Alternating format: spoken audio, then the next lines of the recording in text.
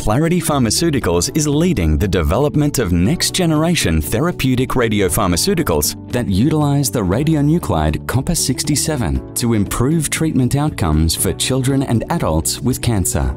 Therapeutic radiopharmaceuticals typically consist of a targeting agent that seeks out and binds to cancer cells and a linker that connects the targeting agent to a cage or chelator which holds a radioactive payload. This payload is a powerful radionuclide that emits cancer-killing radiation. A radionuclide commonly used in today's therapeutic radiopharmaceuticals is lutetium-177. However, its production process is complicated, relying on rare earth elements, an aging fleet of specialized nuclear reactors, and requires complex international supply chains to bring final products to patients. These factors limit its reliability and future scalability to meet patient demands.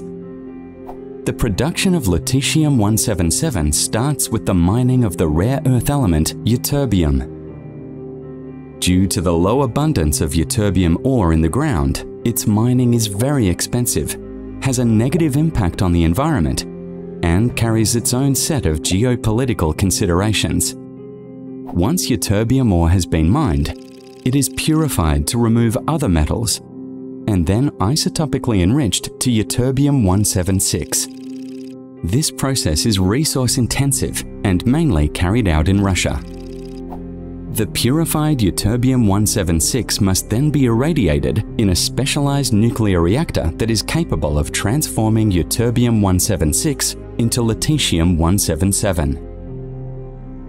There are very few of these specialized nuclear reactors in the world, and many of them are coming towards the end of their intended life cycle, leading to frequent unplanned and prolonged maintenance shutdowns.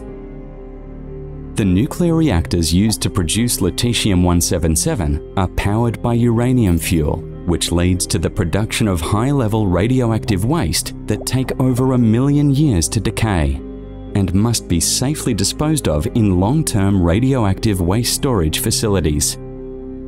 While lutetium-177 plays an important role in today's radiopharmaceutical landscape, other radionuclides may be better suited to meet the growing demand for therapeutic radiopharmaceuticals. Clarity Pharmaceuticals is pioneering the use of next-generation radiopharmaceuticals utilizing copper-67 to create a reliable, scalable, and environmentally friendly long-term solution to the growing need for therapeutic radiopharmaceuticals around the world to treat children and adults with cancer.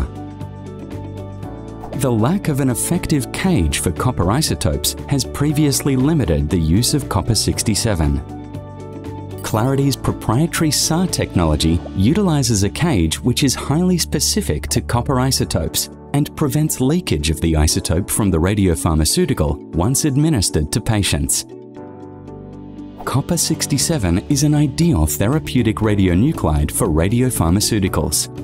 It is produced from the transition metal zinc, which is 20 times more abundantly available in the ground than ytterbium and significantly more environmentally friendly and economical to mine, making it easier to source from existing mining operations. Copper-67 is produced in large quantities using electron accelerators, which are relatively small machines that run entirely on electricity instead of uranium.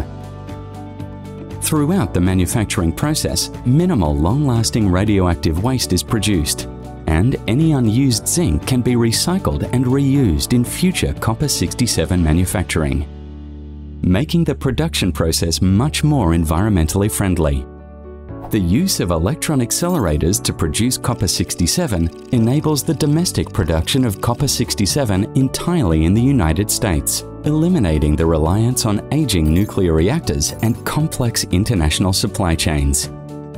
This process is currently being used in the United States for Clarity's ongoing clinical programs and is easily scalable to other geographies around the world.